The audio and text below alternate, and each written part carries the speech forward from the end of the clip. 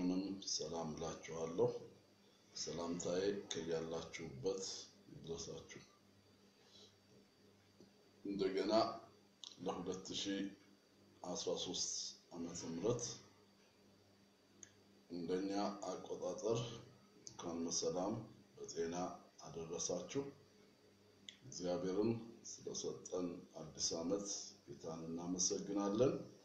በአዲስ ዓመት ስንገናኝ ይሄ መጀመሪያችን ነው። ሰሞኑን ለመገናኘት አልቻልንም በተለያየ ምክንያት። ዛሬ ግን ፕሮግራማችንን እንቀጥላለን። እግዚአብሔር ስለረዳን ጌታን እናመሰግናለን።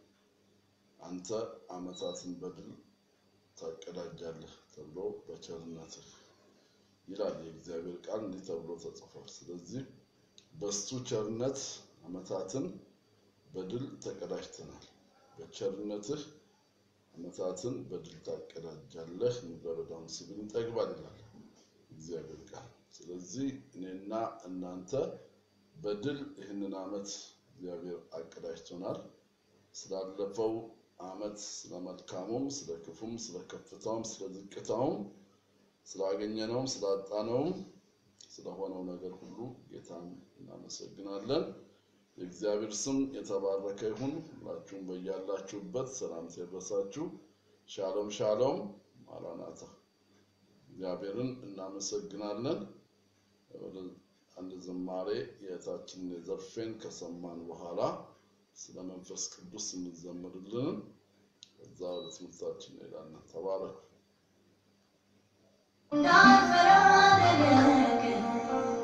መንፈስ ቅዱስ አግዘን። ዘምሪ ዘምሪ ያለን አሜን፣ ሃሌሉያ። ሰላም ላንቺ ናዛለች። ሻሎም ሻሎም፣ እንኳን አደረሰሽ። መንፈስ ቅዱስ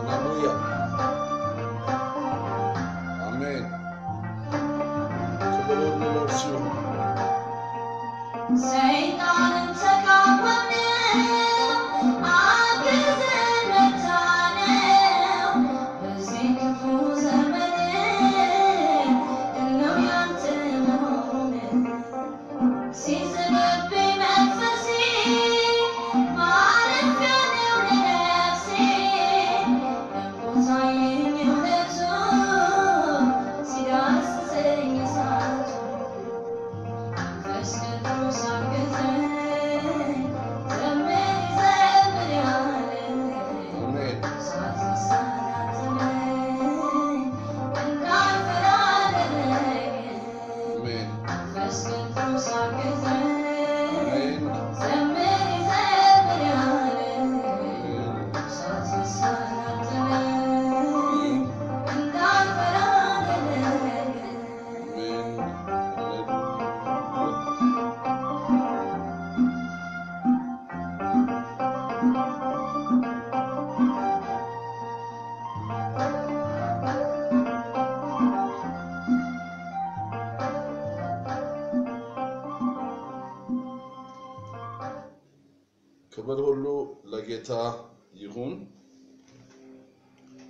ኢየሱስም ሲናገር ያለ እኔ ምንም ልታደርጉ አትችሉም ብሏል። እውነት ነው። መንፈስ ቅዱስ ካልረዳን፣ መንፈስ ቅዱስ ካላገዘን ይህንን ዘመን ማለፍ ከባድ ይሆናል። እግዚአብሔር ቃል ዘመኑ ክፉ ነውና ቀጥ ብላችሁ ልትሄዱ አትችሉም ይላል። እና በዚህ ክፉ ዘመን እንግዲህ የሚረዳንን የሚያግዘንን የሚደግፈንን አምላክ እሱን እናመሰግናለን። በእርሱም ላይ ደግሞ እንደገፋለን ማለት ነው። በድጋሚው ሻሎም ሻሎም ማራናታ እንኳንም ለ2013 በሰላም በጤና እግዚአብሔር በምሕረቱና በቸርነቱ ደግፎ አደረሰን። እግዚአብሔር ስለሰጠን አዲስ ዓመት ጌታን እናመሰግናለን። በዚህ አዲስ ዓመት ደግሞ እግዚአብሔር አዲስ ነገርን እንዲያደርግልን በፊቱ እንሆናለን። እግዚአብሔር ቃል እንደሚናገረው በዙፋኑ ላይ የተቀመጠው እነሆ ሁሉን አዲስ አደርጋለሁ አለኝ ይላል ዮሐንስ። እና እነዚህ ቃሎች ደግሞ የታመኑና እውነተኛ ናቸው ተፈጽሟልም አለኝ ይላል። እና ዮሐንስን እግዚአብሔር ይሄንን በሚናገርበት ጊዜ ሐዋርያውን ያለበት ሁኔታ መልካም አልነበረም። ግን ሆኖም መልአኩ መጥቶ ለዮሐንስ የነገረው ነገር ምንድን ነው? በዙፋኑ ላይ የተቀመጠው ሁሉን አዲስ ማድረግ እንደሚችል የኔና የእናንተ አምላክ እግዚአብሔር በዚህ ወገኖቼ አዲስ ዓመት አዲስን ነገር በምድራችን አዲስን ነገር በሕይወታችን አዲስን ነገር በቤተሰባችን አዲስን ነገር ደግሞ በሕይወታችን ውስጥ በአገልግሎታችን ውስጥ ያደርጋል። አዲስን ነገር ከማድረግ የሚከለክለው ስለሌለ ለምንድን ነው እግዚአብሔር አዲስን ነገር የሚያደርገው ስንል አንደኛው ምክንያታችን ሁል ጊዜ እግዚአብሔር አዲስ ስለሆነ ወገኖቼ የኔና የእናንተ አምላክ ዘመን አይቀይረውም። ዘመናት ይለወጣሉ፣ ዘመናት ይቀየራሉ። እሱ ግን በሚለወጡትና በሚመጡት ዘመናት ሁሉ ምንድን ነው አዲስ ነው። እንግዲህ የመጀመሪያው ለእኔና ለእናንተ እግዚአብሔር አዲስን ነገር እንዲያደርግ የሚፈልግበትን ነገር ስናስብ ለምንድን ነው ብለን ስንመለከት የመጀመሪያው ሁል ጊዜ እግዚአብሔር አዲስ ስለሆነ እና ምሕረቱ አዲስ ነው፣ ፍቅሩ አዲስ ነው። እግዚአብሔር ቃል በኤርምያስ በሰቆቃው ኤርምያስ ላይ ሲናገር ምንድን ነው የሚለው? እግዚአብሔር ምሕረቱ ምንድን ነው ይላል? አዲስ ነው። ማለዳ ማለዳ የእግዚአብሔር ምሕረት አዲስ ነው፣ ታማኝነቱም ብዙ ነው ይላል። እንግዲህ እግዚአብሔር አዲስ ነው ስንል ፍቅሩ አዲስ ነው፣ ምሕረቱ አዲስ ነው፣ ደግሞም አሰራሩ አዲስ ነው። ሁል ጊዜ እግዚአብሔር በአዲስነት ነው ያለው። በእግዚአብሔር ዘንድ ወገኖቼ አሮጌነት የለም።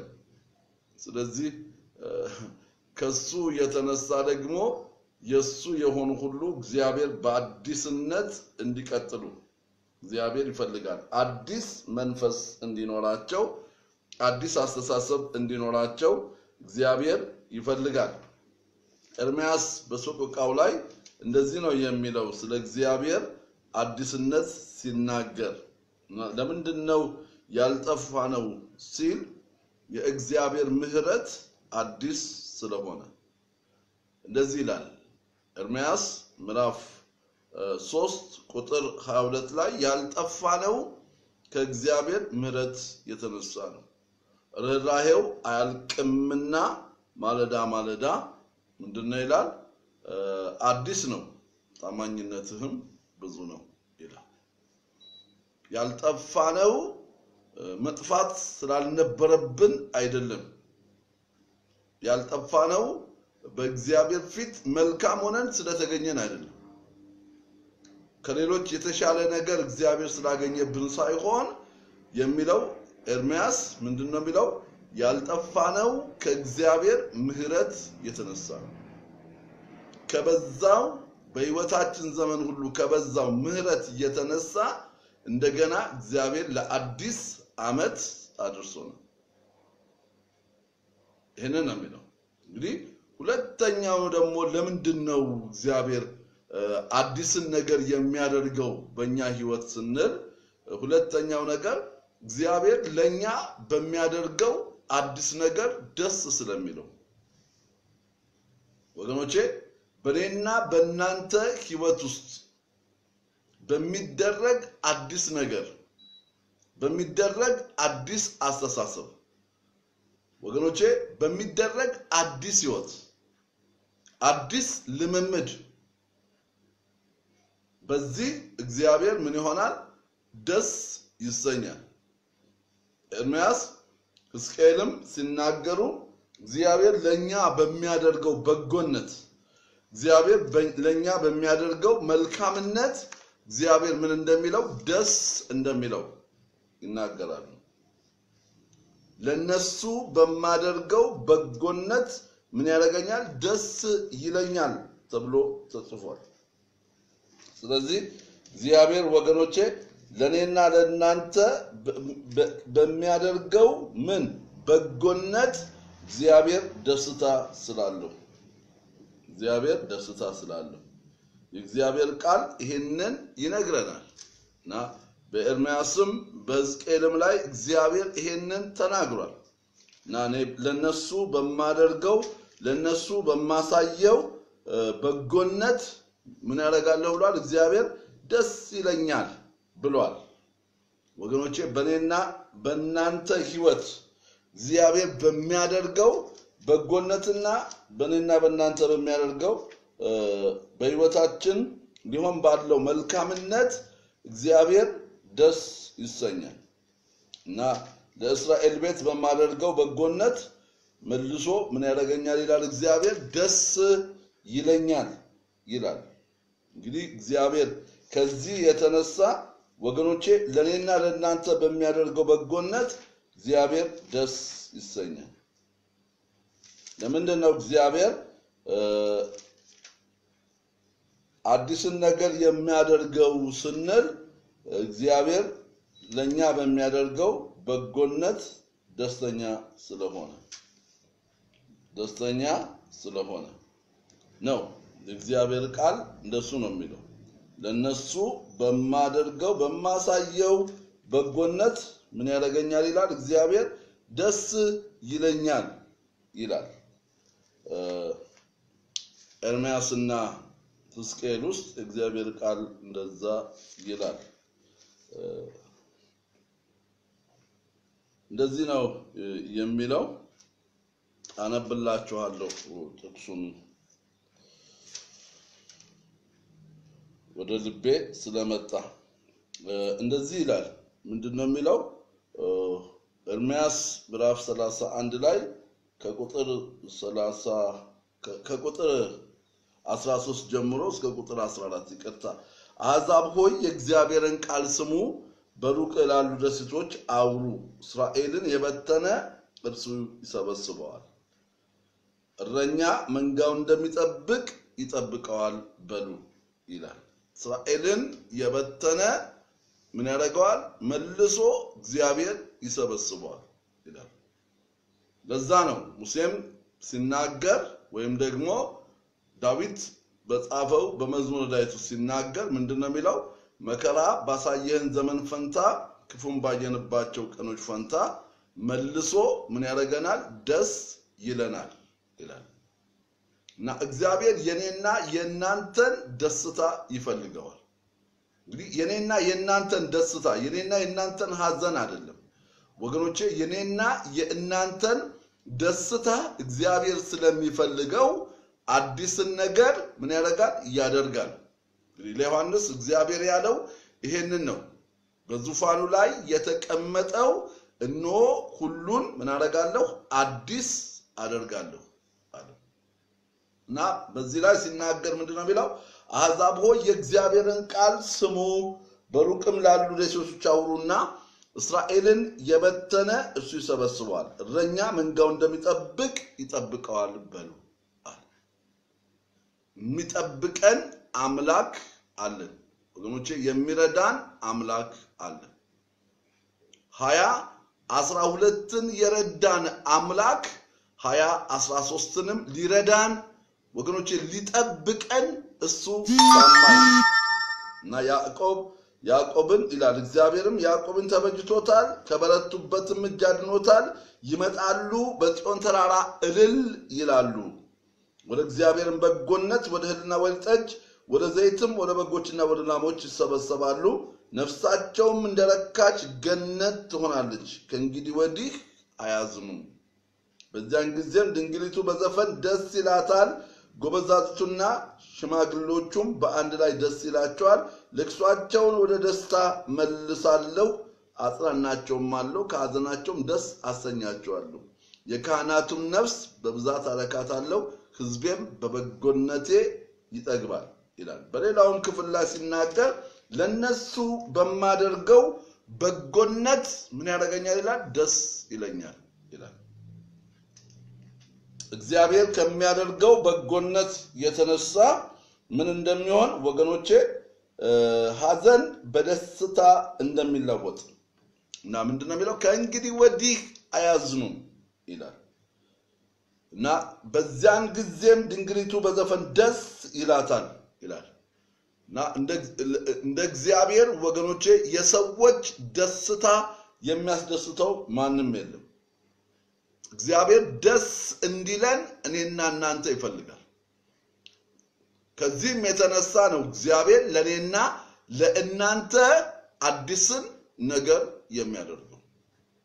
ለምንድን ነው እግዚአብሔር አዲስን ነገር የሚያደርገው ስንል እግዚአብሔር እኛ እንድንደሰት ፈቃዱ ስለሆነ ፈቃዱ ስለሆነ ድንግሊቱም በዘፈን ደስ ይላታል፣ ጎበዛዝቱና ሽማግሌዎቹም በአንድ ላይ ደስ ይላቸዋል፣ ለቅሷቸው ወደ ደስታ እመልሳለሁ ይላል።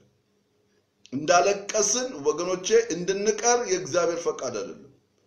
እንዳዘንን ልባችን እንደተሰበረ እንዲቀር እግዚአብሔር አይፈልግም። ስለዚህ ነው እግዚአብሔር አዲስን ነገር በእኔና በእናንተ ህይወት፣ በእኔና በእናንተ ዘመን፣ በእኔና በእናንተ ቤተሰብ እኔና እናንተ ባለንበት አካባቢ ማድረግ የሚፈልግ ልቅሷችን ወደ ደስታ እንዲለወጥ እግዚአብሔር ይፈልጋል እና እንደዚህ ነው ያለው። ልቅሷቸው ወደ ደስታ እመልሳለሁ፣ አጽናናቸውም አለው፣ ከሐዘናቸውም ደስ አሰኛቸዋለሁ። ባለፈው ዓመት አዝነን ልባችን ተሰብሮ ውስጣችን ተጎድቶ ሊሆን ይችላል። ግን ወገኖቼ እግዚአብሔር አዲስን ነገር ሲያደርግልን ለቅሷችን ወደ ደስታ ይመለሳል። ደግሞም እግዚአብሔር ያጽናናናል፣ ከሐዘናችንም ደስ ያሰኘናል። የካህናቱም ነፍስ ይላል በብዛት አረካታለሁ፣ ሕዝቤ በበጎነቱ ይጠግባል ይላል። አሁንም ኤርምያስ ምዕራፍ 32 ላይ የእግዚአብሔር ቃል ሲናገር እንደዚህ ይላል። ከቁጥር 38 ጀምሬ አነባዋለሁ እስከ 40 ምንድን ነው የሚለው? እንዲህ ይላል፣ እነርሱም ሕዝብ ይሆኑኛል እግዚአብሔር በጎበኘበት ቀን፣ እግዚአብሔር ምርኮን በመለሰበት ቀን፣ ለሕዝቡ እግዚአብሔር ደስታን ሲያደርግ እንደዚህ ነው የሚለው። ምንድን ነው የሚለው? እነርሱም ሕዝብ ይሆኑኛል፣ እኔም አምላክ እሆናቸዋለሁ ለእነርሱም ከእነርሱም በኋላ ለልጆቻቸው መልካም ይሆንላቸው ዘንድ ለዘላለም እንዲፈሩኝ አንድ ልብና አንድ መንገድ እሰጣቸዋለሁ። ባልፈሩበት ዘመን እግዚአብሔርን እንዲፈሩ፣ ባላከበሩበት ዘመን እግዚአብሔርን እንዲያከብሩ እግዚአብሔር ምን እንደሚያደርግ አንድን ልብ ደግሞም እግዚአብሔርን የሚፈራ ልብ ደግሞም አንድን መንገድ እግዚአብሔር እንደሚሰጣቸው እና ቁጥር አርባ ላይ ለእነርሱም ከማደርገው በጎነት አልመለስም ይላል። ወገኖቼ እግዚአብሔር ለእኔና ለእናንተ በሚያደርገው በጎነት ደስ ይለዋል እና የሚለውን ምንድን ነው? ከማደርገው በጎነት ከማደርገው መልካምነት ምን አደርግም አልመለስም ይላል። እኔና እናንተ እግዚአብሔር በጎን ነገር እንዲያደርግልን ይወዳል እና ከማደርግላቸው በጎነት ምን አደርግም አልመለስም ይላል። እግዚአብሔር ተሐድሶን በሕይወታችን ሲያመጣ መጽናናትን በሕይወታችን ሲያመጣ እና ደግሞ ምንድነው የሚለው ለእነርሱ ከማደርገውን በጎነት አልመለስም ስል ከእነርሱ ጋር የዘላለምን ቃል ኪዳን እገባለሁ ከእኔ ዘንድ ፈቀቅ እንዳይሉ መፈራቴን በልባቸው ውስጥ አኖራለሁ። አሌሉያ። እግዚአብሔር ወደ ህዝቡ ሲመለስ፣ እግዚአብሔር ለህዝቡ ሲራራ፣ እግዚአብሔር ወደ ህዝቡ ሲመለከት የእግዚአብሔር ቃል ሲናገር ምንድነው የሚለው? መፈራቴ በልባቸው ውስጥ አኖራለሁ ይላል።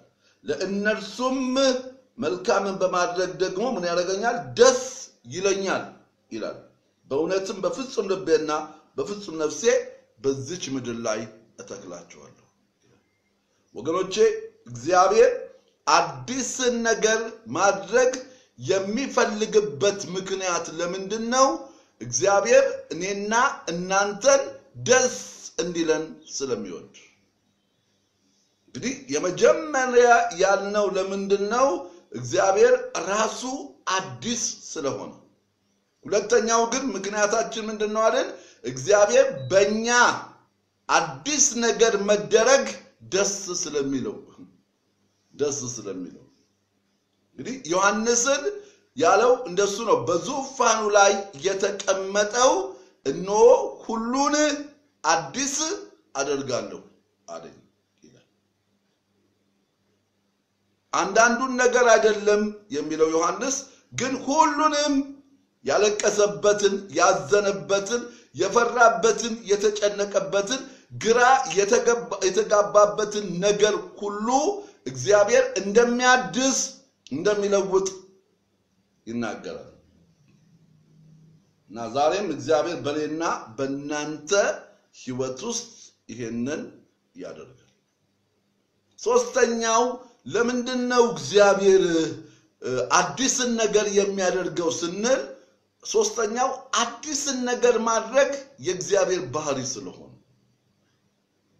ወገኖቼ አዲስን ነገር ማድረግ የኔና የእናንተ አምላክ ባህሪ ነው።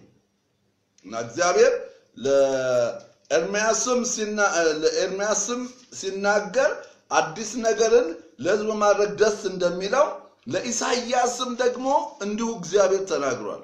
ኢሳይያስ ምዕራፍ 43 ላይ የእግዚአብሔር ቃል ሲናገር እንደዚህ ይላል፣ አዲስን ነገር ማድረግ ባህሪው የሆነ እግዚአብሔር መልካምን ነገር ማድረግ ባህሪው የሆነ እግዚአብሔር በእግዚአብሔር ባህሪ ውስጥ ወገኖቼ ሰዎች እንዲያዝኑ የሚፈልግበት ነገር የለም እና ለእስራኤላውያንም ሲናገር ያላቸው ያ እኔ ለእናንተ የማስባትን ሐሳብ አውቃለሁ ፍጻሜና ተስፋ ሰጣችሁ ዘንድ የሰላም ሐሳብ ነው እንጂ የክፉ ነገር አይደለም አለ እግዚአብሔር። ወገኖቼ በእኔና በእናንተ ቤት ላይ በእኔና በእናንተ ትዳር ላይ በእኔና በእናንተ ቤተሰብ ላይ በእኔና በእናንተ ሕይወት ውስጥ እግዚአብሔር ክፉ ነገር የለውም። አንዳንድ ጊዜ ከምናልፍበት ነገር የተነሳ መቀበልም ግን ቢያቅተን የእግዚአብሔር ቃል የሚናገረው ይሄንን ነው። ኢሳይያስ ምዕራፍ 43 ላይ እንደዚህ ይላል። የእግዚአብሔር ቃል ምንድን ነው የሚለው? ከቁጥር 18 ጀምሬ አነበዋለሁ። የፊተኛውን ነገር አታስተውሉ፣ የጥንቱንም ነገር አታስቡ። ሁለት ነገር እንዲያደርጉ ነው የተመከሩት።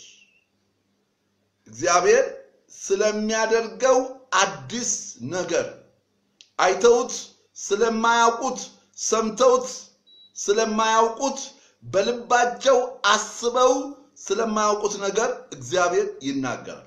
ወገኖቼ ዛሬም በእኔና በእናንተ ልብ ውስጥ ያልታሰበ እኔና እናንተ ያላየነው እኔና እናንተ ያላወቅነውን አዲስ ነገር እግዚአብሔር ያደርጋል። ሃሌሉያ! ለምን? እግዚአብሔር ምን ስለሆነ? አዲስን ነገር ማድረግ ባህሪው ስለሆነ የእግዚአብሔር ባህሪ ስለሆነ እግዚአብሔር አዲስ መሆኑ ብቻ አይደለም ወገኖቼ፣ ደግሞም ለእኛ አዲስ ነገር በማድረግ መደሰቱ ብቻ አይደለም። ራሱ የእግዚአብሔር ባህሪው ምን ስለሆነ? አዲስ ስለሆነ አዲስነት የእግዚአብሔር ባህሪ ነው። እግዚአብሔር ከዚህ ተነስቶ ነው በትንቢተ ሚልክያስ ምዕራፍ 3 ቁጥር 6 ላይ ሲናገር እኔ እግዚአብሔር ምን አላደርግም አልለወጥም። የተለወጡብን ሰዎች ሊኖሩ ይችላሉ። የተለወጠብን ሁኔታ ሊኖር ይችላል ወገኖቼ። ነገር ግን የእግዚአብሔር ቃል የሚናገረው ይሄ የኔና የእናንተ አምላክ እግዚአብሔር ግን ምን አያደርግም አይለወጥም። በሱ ዘንድ መለወጥ የለም። ሁል ጊዜ እግዚአብሔር አዲስ ነው። እግዚአብሔር እቅዱ በእኔና በእናንተ ህይወት ውስጥ አዲስ ነው። ዓላማው አዲስ ነው እና እግዚአብሔር ለዚህ ነው ያለው ለእስራኤል ልጆች እኔ እኔ እግዚአብሔር ምን አላደርግም አልለወጥም ሲል ምን ማለት ነው? እግዚአብሔርን ለውጥ አይነካው። ሁሉ ነገር ለውጥ ሊነካው ይችላል። ሁሉ ነገር ለውጥ ሊነካው ይችላል። እንግዲህ አዲስነት የእግዚአብሔር ባህሪ ስለሆነ ለእኔና ለእናንተም እግዚአብሔር አዲስን ነገር ያደርጋል። ለዮሐንስ እግዚአብሔር ያለው ያንን የዮሐንስን እግዚአብሔር የተናገረው እንደዛ እንደሆነ እናያለን። በያዕቆብ ምዕራፍ አንድ ቁጥር 17 ላይ የእግዚአብሔር ቃል ሲናገር ስለ እግዚአብሔር አዲስነት ስለ እግዚአብሔር አለመለወጥ ሲናገር የእግዚአብሔር ቃል እንዲህ ይላል፣ እኔና እናንተ ለእግዚአብሔር ልንለወጥ እንችላለን፣ እግዚአብሔር ግን ለእኔና ለእናንተ አይለወጥም። ሰዎች ወገኖቼ በእኔና በእናንተ ላይ ጊዜን አይተው ሁኔታን አይተው ሊለወጡ ይችላሉ ሊለወጡ ይችላሉ። እግዚአብሔር ግን በእርሱ ዘንድ መለወጥ የለም። እንደዚህ ነው የሚለው ቁጥር 16 እና 17 የተወደዳችሁ ወንድሞች ሆይ አትሳቱ፣ በጎ ስጦታ ሁሉ ፍጹም በረከት ሁሉ ከላይ ናቸው ይላል።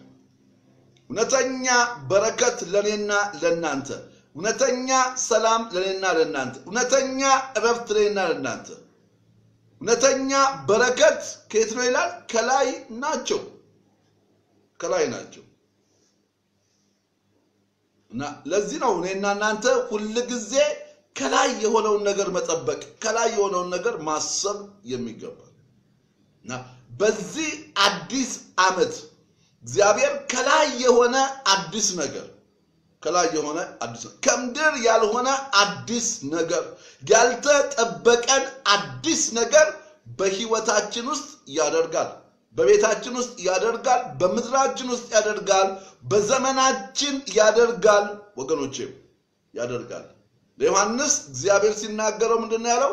እነዚህ ቃሎች የታመኑና እውነተኛ ናቸው፣ ስለዚህም ጻፍ አለኝ ይላል። እና ምንድን ነው የሚለው? የተወደዳችሁ ወንድሞች ሆይ አትሳቱ፣ በጎ ስጦታ ሁሉ ፍጹምም በረከት ሁሉ ከላይ ናቸው። መለወጥ በእርሱ ዘንድ ከሌለ፣ በመዞርም የተደረገ ጥላ በእርሱ ዘንድ ከሌለ ከብርሃናት አባት ይወርዳሉ። ለፍጥረቱ የበኩራት አይነት እንድንሆን በእውነት ቃል አስቦ ወለደ ሃሌሉያ! መለወጥ ከሌለበት የትናንትናው ቀን ተለውጦ ዛሬ ደርሰናል። ያለፈው ዓመት ተለውጦ ለአዲስ ዓመት ደርሰናል። ወገኖቼ በእግዚአብሔር ዘንድ ግን ለውጥ የሚባል ነገር የለም። ስለዚህ በኢሳይያስ ላይ እግዚአብሔር ያላቸው ነገር ቢሆን ምንድን ነው? እንዲህ ነው ያላቸው እግዚአብሔር አዲስን ነገር እንደሚያደርግ እና አዲሱን ነገር ሲያደርግ ደግሞ ሁለት ነገር ማድረግ እንዳለባቸው ሲናገራቸው እንመለከታለን። አንደኛው የጥንቱን ነገር ምን አታድርጉ፣ አታስቡ። ወገኖቼ ያለፈውን ነገር እንዳታስቡ። ሰዎች አንዳንድ ጊዜ ባለፈው ነገር ትዝታ ውስጥ ነው ያሉት። ባለፈው ዓመት ትዝታ ውስጥ፣ ባለፉት ዓመታቶች ትዝታ ውስጥ ሰዎች የሚሆኑበት ጊዜ አለ እና አንዳንዶቹ ትዝታዎች ወገኖቼ ደስ ሲያሰኙን፣ አንዳንዶቹ ትዝታዎች ደግሞ ልባችንን የሚሰብሩና ተመልሰው እነዛን ማሰብ የማንፈልጋቸው ይሆናሉ። ለዚህ ነው ምንድን ነው የሚለው? ያለፈውን ምን አታድርጉ፣ አታስቡት፣ አታስቡት። መልካምም ይሁን ክፉ አታስቡት። የጥንቱን ነገር አታስቡ፣ አታሰላስሉት። እግዚአብሔር እንዲህ ነው የሚለው የኔና የእናንተ አምላክ አዲስን ነገር የሚያደርግ ስለሆነ ያለፈውን ነገር የሚያስረሳ ስለሆነ መጽሐፍ ቅዱስ በኢዮብ ላይ ሲናገር ምንድን ነው የሚለው? መከራህን እንደሚያልፍ ውሃ ትረሳዋል። እግዚአብሔር መከራን ያስረሳል። እግዚአብሔር ሐዘንን ያስረሳል። እግዚአብሔር ወገኖቼ ደስታንም ያስረሳል። ለምን?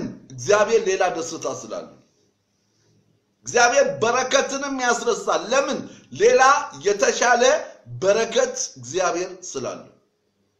የመጀመሪያው ነገር እንግዲህ የሚናገረው ነገር ምንድን ነው? የፊተኛውን ነገር ምን አታርጉ፣ አታስተውሉ፣ የጥንቱንም ነገር አታስቡ። ወገኖቼ ከፊታችሁ ሁለት ነገር እንዲያደርጉ ነው የሚለው። የፊተኛውን ነገር አታስተውሉ፣ በፊት የሆነ ጥንት የሆነውን ነገር አታስቡ። ለምን? እግዚአብሔር አዲስ ነገር ስላለ። ሃሌሉያ! እግዚአብሔር ያልተጠበቀ ነገር፣ እግዚአብሔር ያልተገመተ ነገር፣ እግዚአብሔር ያልታየ ነገር፣ እግዚአብሔር ያልተገለጠ ነገር ስላለው እና የተገለጠውን የጥንቱን ነገር የፊተኛውን ነገር አታስቡት፣ አታስተውሉ ብሎ እግዚአብሔር አለ። ለምን? የጥንቱንም ነገር አታስቡ ካለ በኋላ እነሆ አዲስን ነገር አደርጋለሁ በዚህ ወገኖቼ በእግዚአብሔር ዘንድ መለወጥ የሚባል በእግዚአብሔር ዘንድ መቀየር የሚባል ነገር ስለሌለ እግዚአብሔር አዲስን ነገር ያደርጋል። አዲስን ነገር ያደርጋል። ኖ አዲስን ነገር አደርጋለሁ፣ እርሱም አሁን ይበቅላል፣ እናንተም አታውቁትም። አንዳንድ ጊዜ እግዚአብሔር አዲስን ነገር ሲያደርግ አዲስን ነገር ሊያደርግ ሲል ሰዎች ምን አያደርጉም? አያውቁም፣ አይረዱም፣ አይረዱም።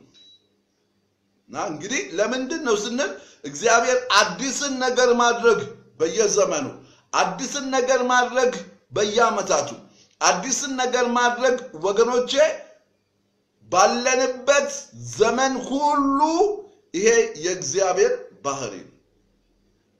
እግዚአብሔር አዲስ ነው። በእግዚአብሔር ዘንድ ወገኖቼ አሮጌ ነገር የለም። ለዚህ ነው በሁለተኛ ቆሮንቶስ አምስት አስራ ሰባት ላይ ሲናገር ማንም በክርስቶስ ኢየሱስ አዲስ ፍጥረት ነው፣ አሮጌው ነገር አልፏል ይላል። በአሮጌው ትዝታ ውስጥ ወድቀን ቢሆን ወገኖቼ ተሳክቶልን ቢሆን በዛ ውስጥ እንድንቆይ የእግዚአብሔር ሀሳብ አይደለም። ለምን? እግዚአብሔር ሌላ አዲስ ነገር ስላለ ስላለ ለምንድን ነው እግዚአብሔር አዲስን ነገር የሚያደርገው የሚለውን ስንመለከት በመጀመሪያ የተመለከትነው ምንድን ነው ያልነው? እግዚአብሔር ምን ስለሆነ? አዲስ ስለሆነ። ወገኖቼ እግዚአብሔር አዲስ ነው። እግዚአብሔር አዲስ ነው።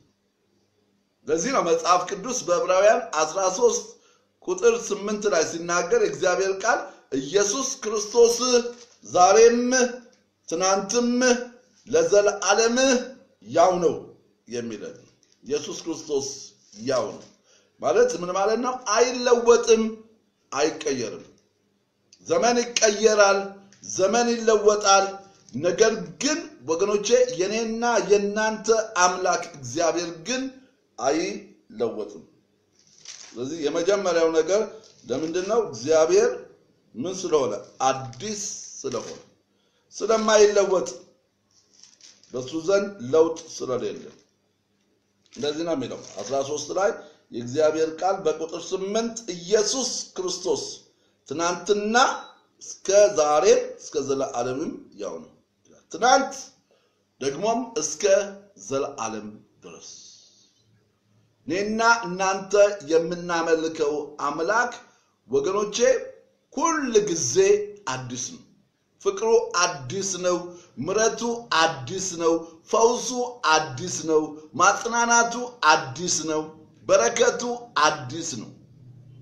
አዲስ ነው። እንግዲህ የመጀመሪያው እግዚአብሔር ለእኔና ለእናንተ አዲስን ነገር ያደርጋል ስል እግዚአብሔር አዲስ ስለሆነ፣ ሁለተኛው በእኔና በእናንተ ህይወት ውስጥ በሚሆነው አዲስነት የእግዚአብሔር ደስታ ስለሆነ እግዚአብሔር አዲስን ነገር በህይወታችን መፍጠር አዲስ ነገር እንዲሆንልን እግዚአብሔር ስለሚፈልግ ይሄ ደግሞ የእግዚአብሔር ደስታ ስለሆነ የኔና የእናንተ ደስታ የእግዚአብሔር ደስታ ነው። መጽሐፍ ቅዱስ የእግዚአብሔር ደስታ የህዝቡ ኃይል ነው ይላል። ስለዚህ እግዚአብሔር ደስ ሲለው ወገኖቼ እኔና እናንተንም ምን እንዲለን ደስ እንዲለን እንደሚፈልግ ደስ እንዲለን ይላል።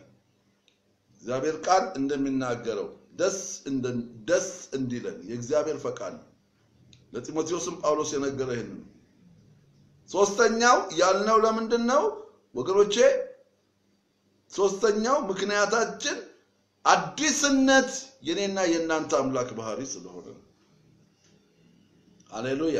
አራተኛው ወገኖቼ የኔና የእናንተ ነገር እንዲለወጥ ስለሚፈለግ ሐዘናችን እንዲለወጥ ወገኖቼ የልባችን ስብራት እንዲለወጥ ያለንበት ሁኔታ እንዲለወጥ እግዚአብሔር ይፈልጋል። ከዚህ የተነሳ ነው አዲስን ነገር የሚያደርገው። እንድንጽናና እግዚአብሔር ስለሚፈልግ፣ እንድንባረክ እግዚአብሔር ስለሚፈልግ ወገኖቼ ለጥያቄያችን መልስ እንድናገኝ ስለሚፈልግ እግዚአብሔር ያለንበትን ሁኔታ የምናልፍበትን ሁኔታ እግዚአብሔር መለወጥ ስለሚፈልግ ለእኔና ለእናንተ አዲስን ነገር ያደርጋል። አዲስን ነገር ያደርጋል። እግዚአብሔር ለዮሐንስ ያለው ይሄ ነው። እነዚህ ቃሎች የታመኑ ናቸው ናቸው አለ ማ በዙፋኑ ላይ የተቀመጠው መልአኩ መጥቶ አዲስን ነገር የሚያደርገው ማን ነው ሲል እሱ በዙፋኑ ላይ ምን ያደረገው የተቀመጠው እሱ በዙፋኑ ላይ የተቀመጠው የኔና የእናንተ ነገር አምና ያለፍንባቸው ነገሮች እግዚአብሔር እንዲለወጡ እግዚአብሔር እንዲቀየሩ እግዚአብሔር ይፈልጋል። አምና የተከተሉን ነገሮች እንዲከተሉን ያለቀስንባቸው ነገሮች፣ ያዘንባቸው ነገሮች ወገኖቼ የፈራንባቸው ነገሮች፣ የደነገጥንባቸው ነገሮች እንዲሆኑ እግዚአብሔር ስለማይፈልግ። በዛ እንድንቀጥል እግዚአብሔር ስለማይፈልግ። ለዚህ ነው እግዚአብሔር ይህንን ነው ያለው። እና ከዚህ የተነሳ እግዚአብሔር ምንድን ነው ያለው? በኢሳይያስ 43 ላይ ከቁጥር 18 ጀምሮ እስከ ቁጥር 24 የፊተኛውን ነገር አታስተውሉ፣ የጥንቱንም ነገር አታስቡ፣ እነሆ አዲስ ነገር አደርጋለሁ። ወገኖቼ እግዚአብሔር አዲስ ነገር አደርጋለሁ ካለ ያደርጋል። ለምን? እግዚአብሔር እንደ ቃሉ ነው። ለዮሐንስም ያለው እነዚህ ቃሎች አለ እነዚህ ቃሎች አዲስ አደርጋለሁ ያልኩበት ቃሎች ጻፍ ያልኩ ቃሎች የታመኑና እውነተኛ ናቸው ይላል። ከታመነው አምላክ የወጣ ድምፅ፣ የወጣ ማጽናናት፣ የወጣ ተስፋ እሱ ወገኖቼ የታመነና እውነተኛ ነው። እውነተኛ ነው። ለዮሐንስ እግዚአብሔር ይሄንን እየተናገረው በነበረበት ጊዜ ዮሐንስ ያለፈበት የሚያልፍበት የሆነበት ያለበት ሁኔታ የእግዚአብሔርን አዲስነት እንዲቀበል ወገኖቼ አእምሮ የሚመቻች አልነበረም፣ ወይም ደግሞ ለዮሐንስ ቀላል አልነበረም። ለዚህ ነው እግዚአብሔር እነዚህ ቃሎች የታመኑ ናቸዋል። እነዚህ ቃሎች ደግሞም እውነተኛ ናቸው እና ጻፍ ተፈጽሟልና ጻፍ አለኝ ይላል። ወገኖቼ እግዚአብሔር ይህንን ማድረግ ይችላል። ለእኔና ለእናንተ እግዚአብሔር ይህንን ማድረግ ይችላል። ስለዚህ እንደዚህ ነው የሚለው፣ ፊተኛውን ነገር አታስተውሉ፣ የጥንቱንም ነገር አታስቡ። ኖ አዲስ ነገር አደርጋለሁ፣ እርሱም አሁን ይበቅላል፣ እናንተም አታውቁትምን? በምድረ በዳም መንገድን በበረሃም ወንዞችን አደርጋለሁ፣ ምስጋናዬን እንዲናገሩ ለእኔ የፈጠርኩትን ሕዝብ የመረጥኩትን ሕዝብ አጠጣ ዘንድ በምድረ በዳ ውሃን በበረሃም ወንዞችን ሰጥቻለሁ። የምድረ በዳ አራዊትና ቀበሮች፣ ሰጎኖችም ያከብሩኛል ይላል። ወገኖቼ እግዚአብሔር የኔና የእናንተ ሁኔታ እንዲለወጥ እግዚአብሔር ይወዳል።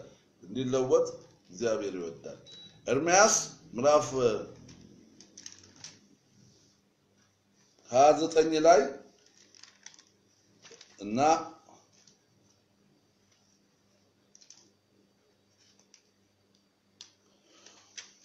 ሰላሳ አራት ላይ እናነባለን። እግዚአብሔር ቃል እንደዚህ ነው የሚለው ኤርምያስ ምዕራፍ 29 ቁጥር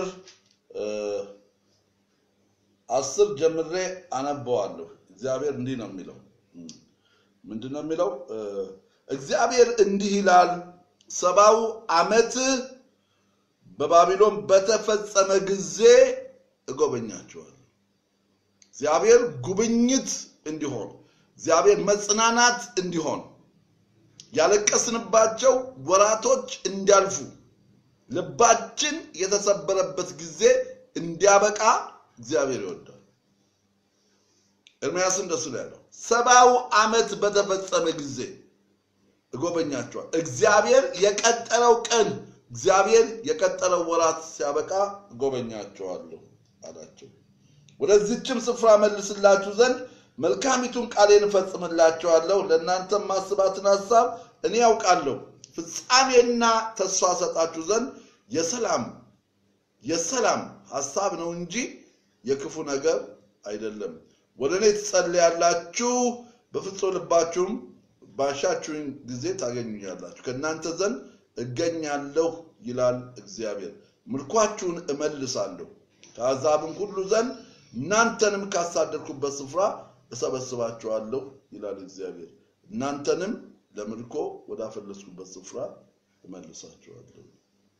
መጨረሻው አምስተኛው ነጥብ ለምንድን ነው እግዚአብሔር አዲስን ነገር የሚያደርገው ስንል እግዚአብሔር ይከብር ዘንድ ስለሚወድ ወገኖቼ ለእኛ አዲስ ነገር በማድረጉ እግዚአብሔር እንዲከብር ወገኖቼ እግዚአብሔር እንዲመሰገን እግዚአብሔር ከፍ ከፍ እንዲል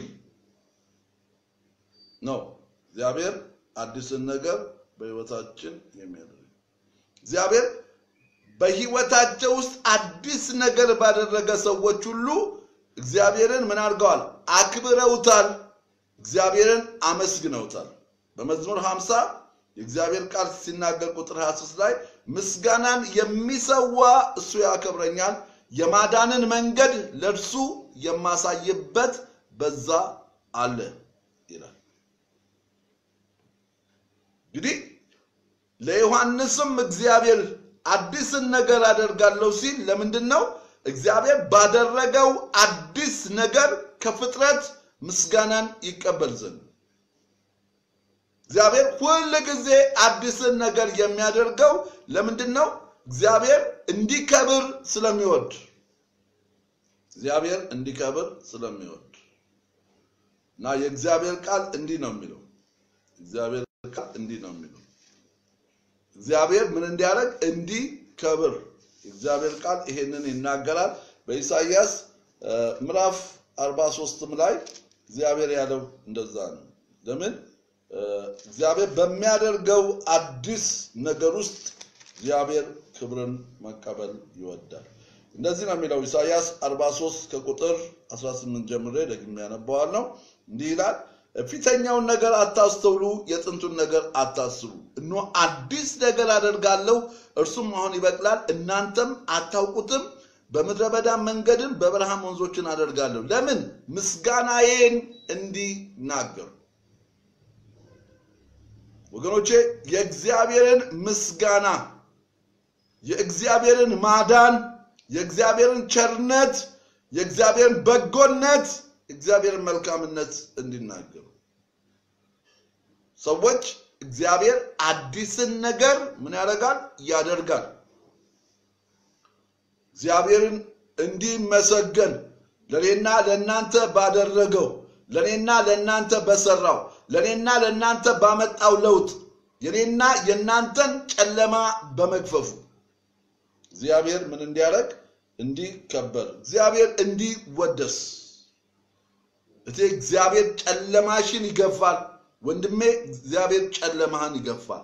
ነገርህ እንዲለወጥ ነገርሽ እንዲለወጥ የኔና የእናንተ ነገር እንዲቀየር እግዚአብሔር ይፈልጋል። መጽሐፍ ቅዱስ ውስጥ እግዚአብሔር ታሪካቸውን የቀየረላቸው ነገራቸውን የቀየረላቸው ደግሞ መልሰው እግዚአብሔርን ያከበሩ እጅግ ብዙዎች ናቸው።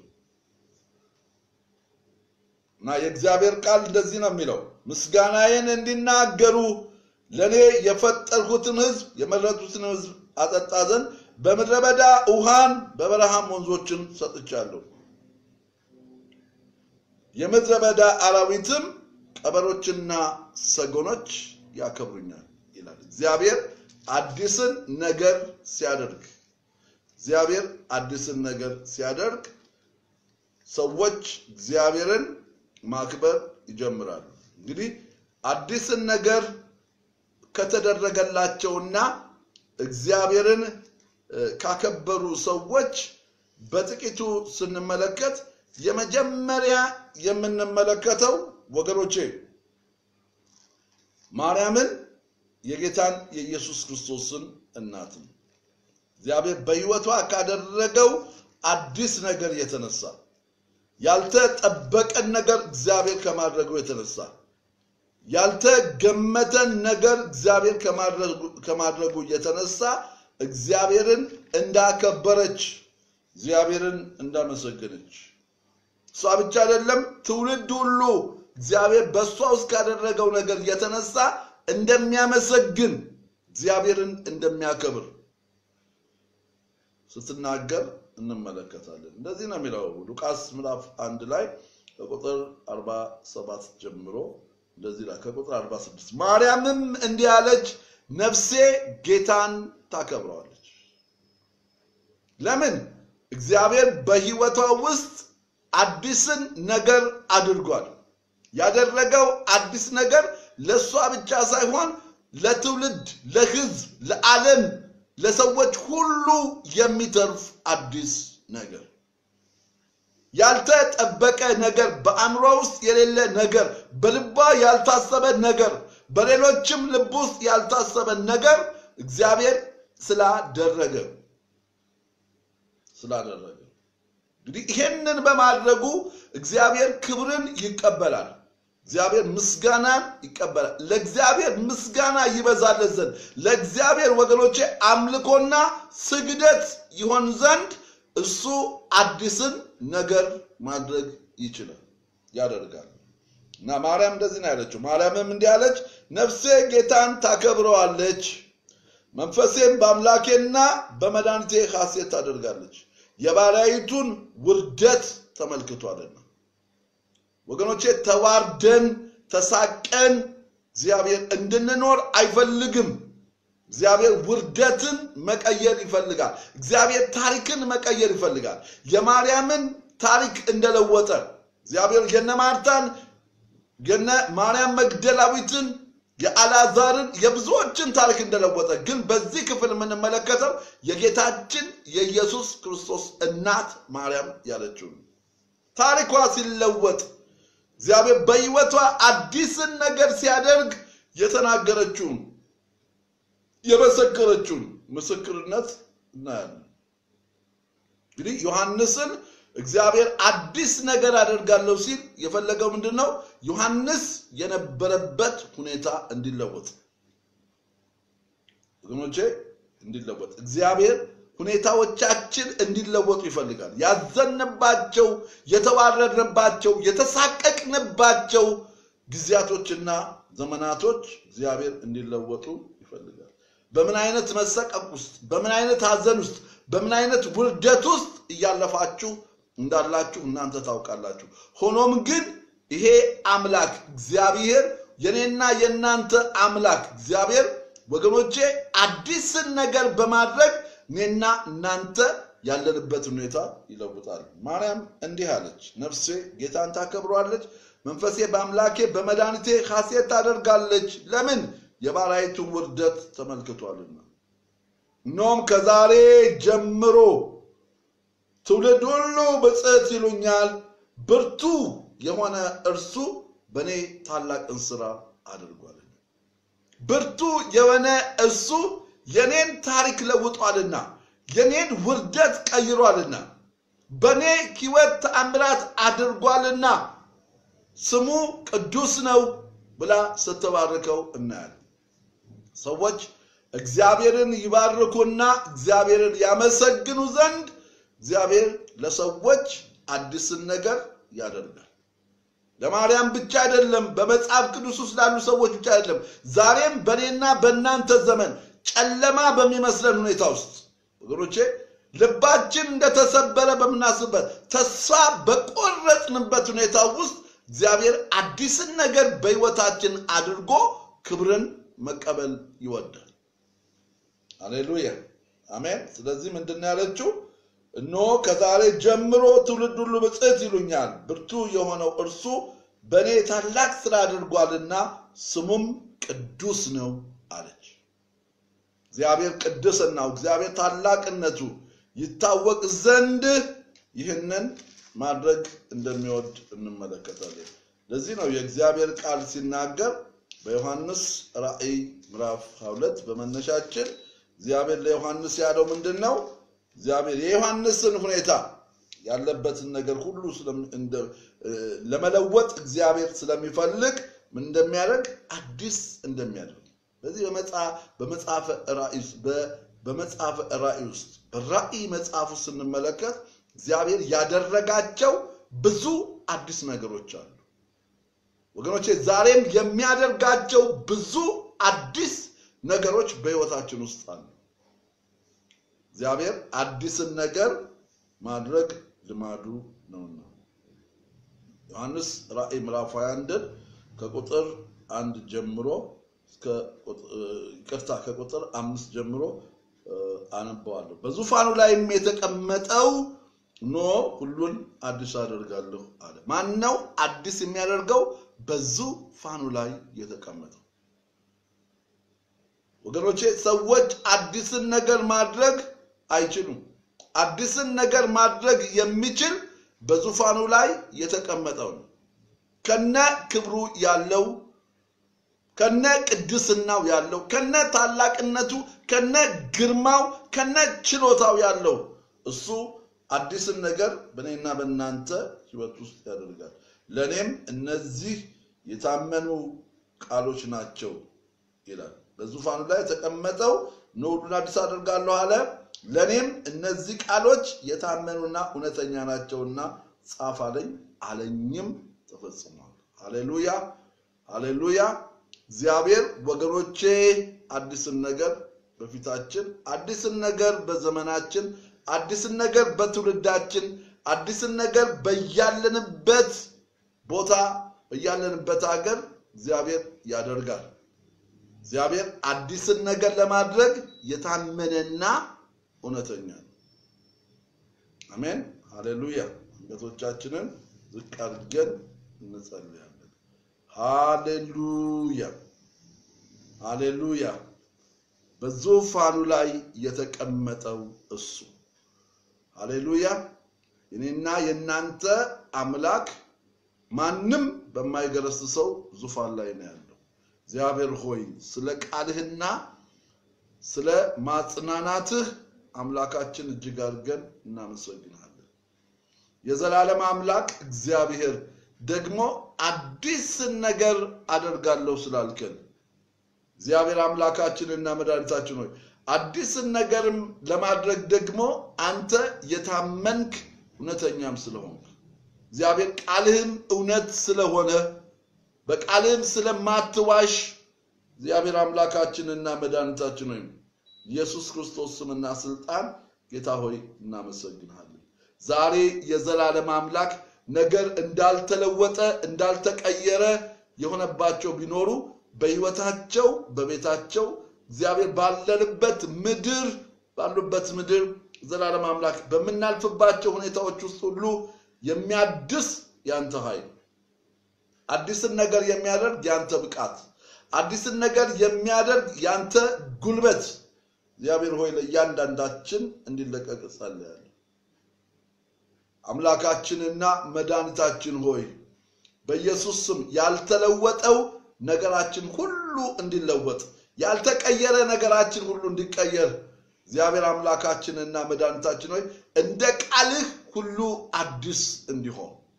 እግዚአብሔር ሆይ የታደሰ አእምሮ፣ የታደሰ ልብ፣ የታደሰ መንፈስ፣ የታደሰ ራዕይ፣ የታደሰ ህይወት እግዚአብሔር ሆይ በኢየሱስ ክርስቶስ ስምና ስልጣን እንድሰጠን እንጸልያለን።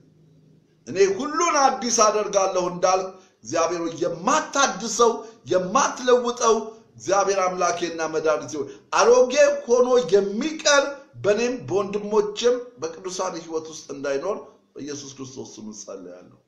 አምላኬና መድኃኒቴ ሆይ ይሄንን ስለምታደርግ ተመስገን፣ ከፍ በል። ክብር ሁሉ ለአንተ ይሁን። ክብርን ለራስህ ውሰድ።